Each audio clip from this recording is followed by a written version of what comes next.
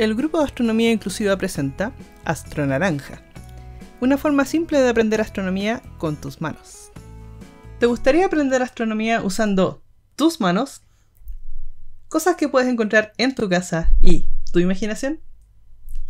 Mi nombre es Erika Lavé, soy astrónoma del Núcleo de Astronomía de la Universidad de Portales y junto con mis amigas de Dedoscopio inventamos estos breves videos con instrucciones muy simples que podrás seguir hasta con tus ojos cerrados para poder entender mejor fenómenos como el día y la noche, el año y las estaciones del año, y los eclipses lunares y solares.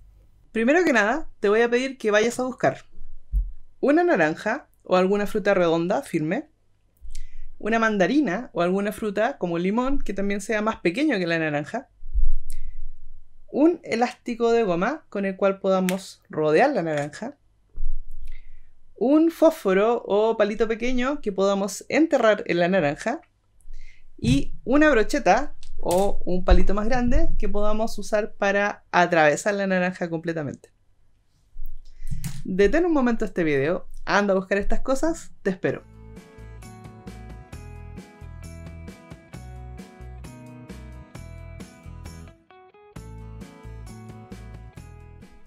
Estamos listos. Primero que nada, te voy a pedir que tomes la naranja entre tus dos manos, cierres los ojos un minuto y te imagines como si la naranja fuese nuestro planeta Tierra. Como si tú fueses un gigante o una gigante que fuese capaz de tomar la Tierra entre sus manos. Vamos a sentir que esta Tierra es redonda, ¿cierto? Hay un par de puntitos por ahí, unos hoyitos en la naranja típico de la fruta. Y vamos a imaginar que esos dos hoyitos son el polo norte y el polo sur de la Tierra. Tradicionalmente, en los mapas, el polo norte está arriba, el polo sur está abajo, y si bien eso no es necesariamente así siempre, uno podría ver la Tierra desde cualquier dirección en el espacio, en realidad vamos a usarlo de esa manera solamente para recordar a los mapas. Es importante señalar que si tu cabeza fuese el Sol, la Tierra no sería tan grande como la naranja, sería mucho más pequeña. Sería como una mostacilla, como una pelotita de 1 o 2 milímetros. Y además estaría mucho más lejos de tu cara. Estaría alrededor de 20 metros. Pero, como no tenemos los brazos tan largos, lo vamos a usar de esta manera. Ahora veremos la línea del ecuador. Lo siguiente que haremos es usar el elástico para rodear la naranja y marcar otra línea muy importante en la Tierra que es la línea del ecuador. La línea del Ecuador es una línea imaginaria que divide la Tierra en dos, de la misma forma que tú cortarías esta naranja para poder sacar su exquisito jugo. Justo en esa línea es donde está el Ecuador de la Tierra. Así que vamos a usar el elástico con mucho cuidado. Vamos a ponerlo alrededor de la naranja para que quede ahí en esa línea que divide la naranja en dos. Y vamos a imaginar entonces que esa línea es la línea imaginaria del Ecuador que divide a la Tierra en dos partes. La parte de arriba es lo que se llama el hemisferio norte y la parte de abajo es lo que se llama el hemisferio sur. De ahora en adelante, cada vez que te hago una pregunta, detén un momento el video, piensa en tu respuesta y luego continúas. Ahora tengo una pregunta para ti. ¿Sabes en qué hemisferio de la Tierra está tu país? Mi país es Chile, se encuentra en el hemisferio sur, así que si la Tierra fuese esta naranja, Chile estaría en algún punto de la mitad de abajo, de la naranja. ¿sí?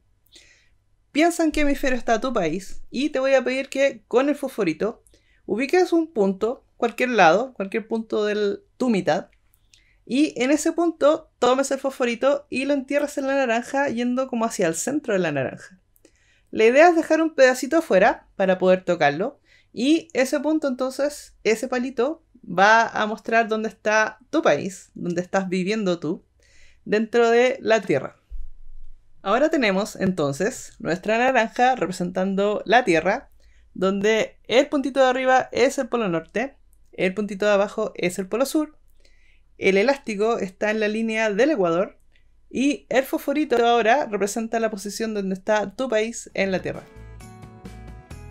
Ahora veremos el día y la noche. Lo siguiente que te voy a pedir es que sostengas la naranja frente a tu cara y te imagines que tu cara fuese el sol nuestra estrella que es tan brillante que entrega su calor a la Tierra. Y la pregunta es, si tu cara fuese el Sol, Si la naranja fuese la Tierra, ¿qué lado de la Tierra estaría más caliente? ¿El que está justo mirando hacia tu cara, que es el Sol? ¿O el que está por el otro lado?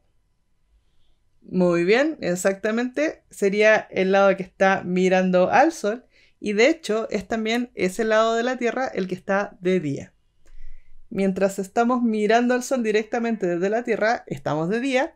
Pero cuando estamos al otro lado, el que está por el lado donde no llega el sol, ese es el lado que está de noche. Bueno, y la siguiente pregunta es, ¿dónde está el palito que indica la posición de tu país en la Tierra, en la naranja? ¿Está del lado de día, donde está mirando directamente a tu cara, que es el sol? ¿O está por el otro lado, está de noche? La respuesta puede ser cualquiera, está bien. Solamente depende de cómo hayas tomado tu naranja. En mi caso, mi país está de noche, tal cual la estoy tomando ahora. Y la otra pregunta que es más interesante aún es, bueno, si depende de qué lado esté el palito, es si estamos de día o estamos de noche, ¿qué es lo que sucede entonces para que en realidad cada día estemos un rato de día y después de noche y después volvamos a estar de día? ¿Qué es lo que hace la Tierra para que eso suceda en todos los países del mundo? Y la respuesta es muy simple. Lo que hace la Tierra para que pasemos del día a la noche y de la noche al día todos los días es simplemente dar vueltas sobre sí misma. Va dando vueltas de tal manera que en algún momento estamos mirando hacia el sol y estamos de día, y luego estamos mirando hacia el otro lado, mirando las estrellas y estamos de noche. Para entender esto un poco mejor, te voy a pedir que tomes la naranja con dos dedos, el dedo índice y el dedo pulgar, y cada uno de estos dedos los pongas el índice en el polo norte, el pulgar en el polo sur, y una vez que sostengas así tu tierra, con la otra mano, te voy a pedir que empujes muy lentamente la naranja para que pueda girar entre tus dedos. ¿Sí? Esa es la forma en que gira la Tierra y a ese movimiento le llamamos rotación. Tiene el polo norte y el polo sur fijos y alrededor de estos es que va haciendo su movimiento de giro o de rotación.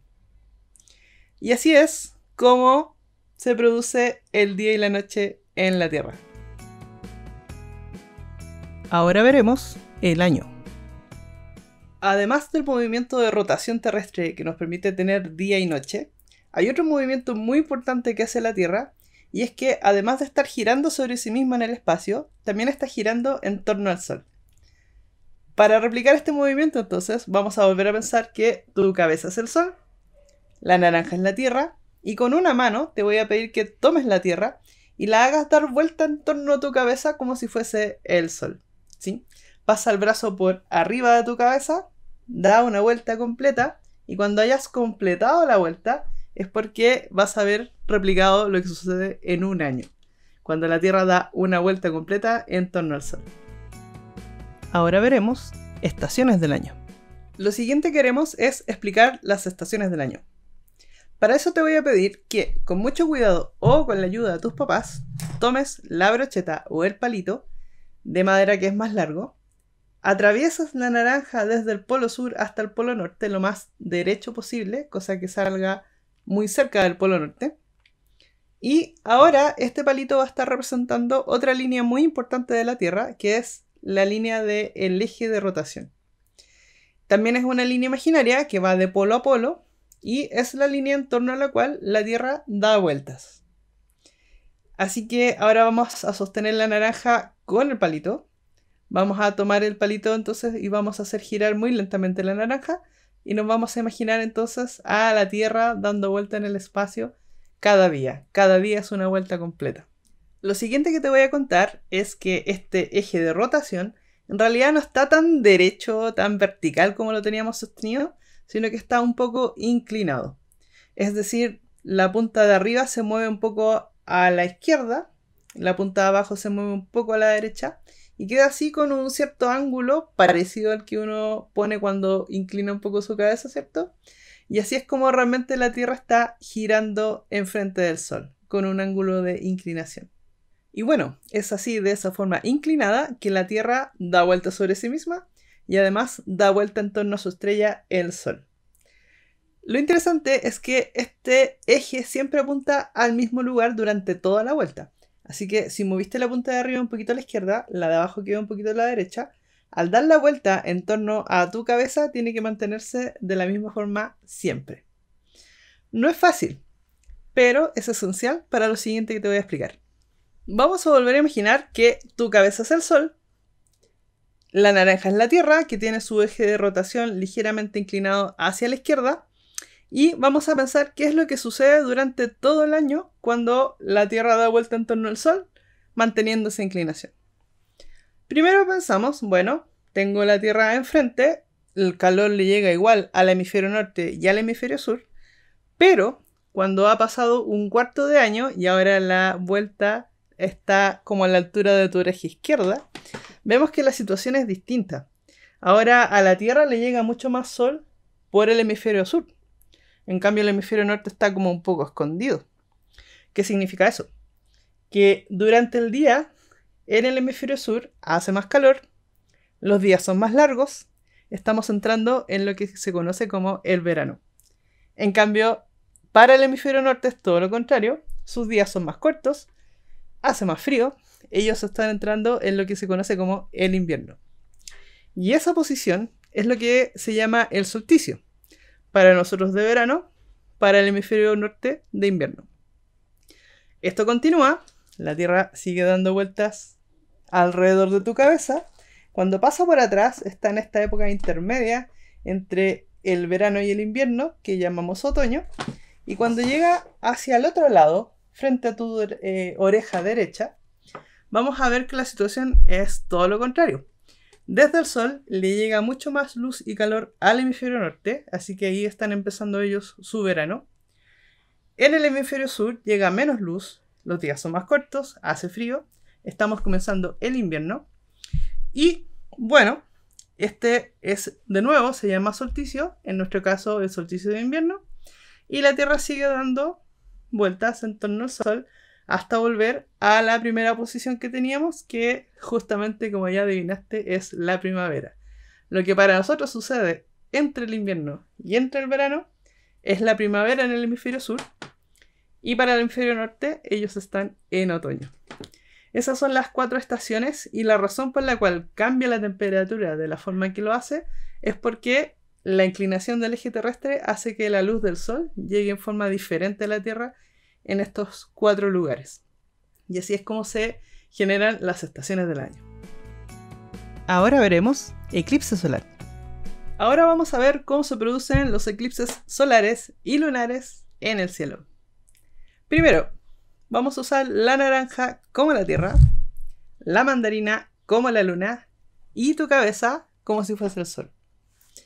Lo primero que hay que saber es que la Tierra, la naranja, está dando vueltas sobre sí misma en la rotación.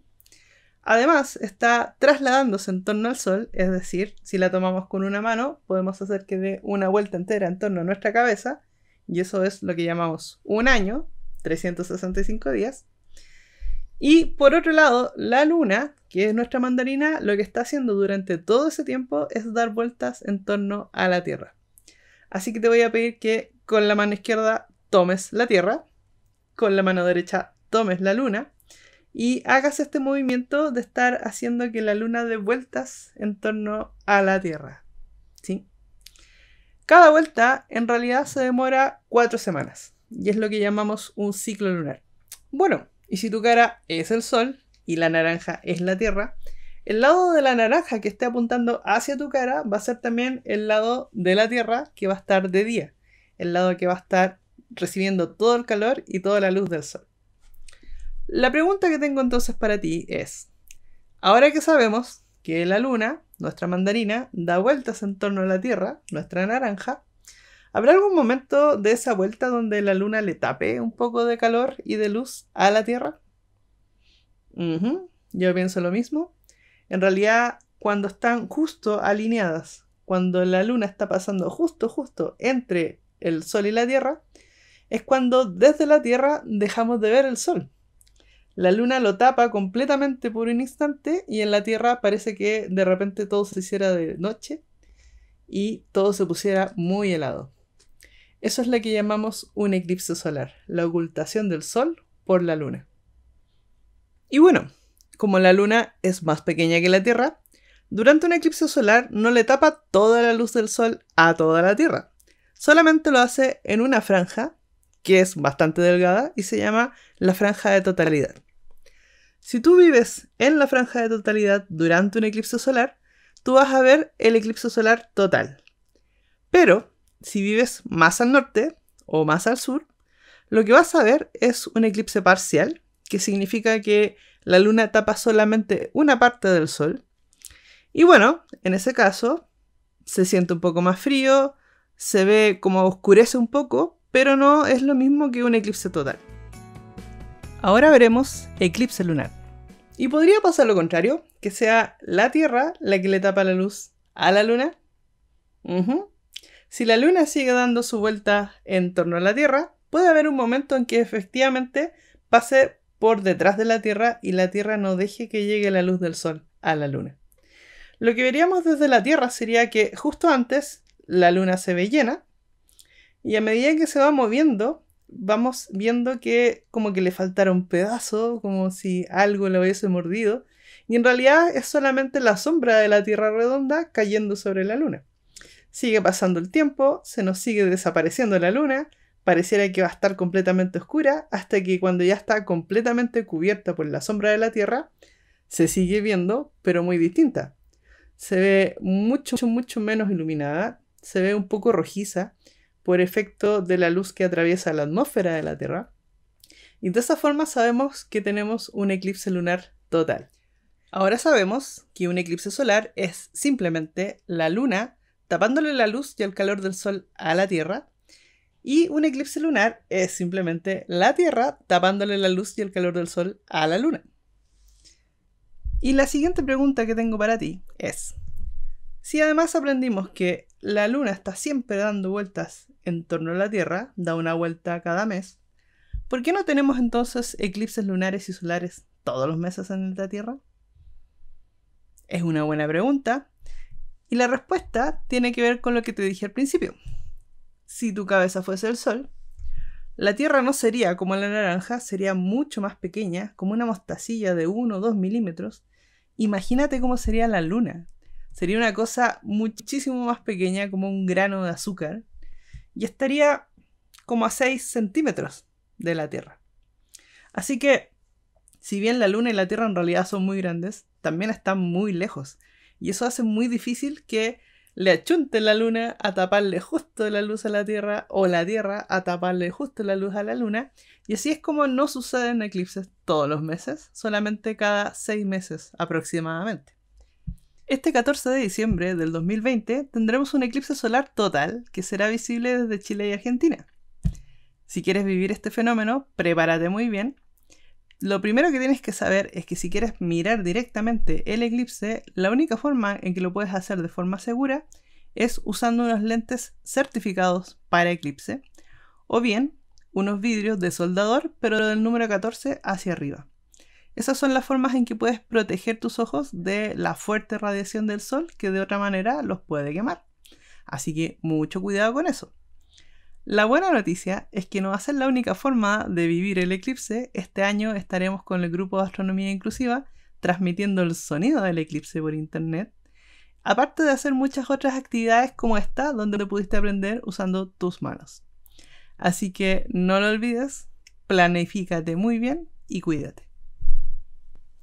Y ahora que todos entendemos mejor cómo funcionan los eclipses lunares, solares, el día y la noche, el año y las estaciones del año, te invito a que le vayas a contar a tus amigos, a toda tu familia, cómo funciona esto y cómo es que con cosas que puedes encontrar en tu casa tú puedes aprender astronomía. Sin imágenes, sin fotografías, con tus manos. Este video fue creado por el Núcleo de Astronomía de la Universidad Diego Portales en colaboración con el proyecto Dedoscopio. Si quieres saber más, síguenos en nuestras redes sociales como AstroUDP o como Dedoscopio-CL. Queremos agradecer a Carlos Antonio Acevedo Villagra y a Edwin Hermosilla Holguín por su ayuda en este video.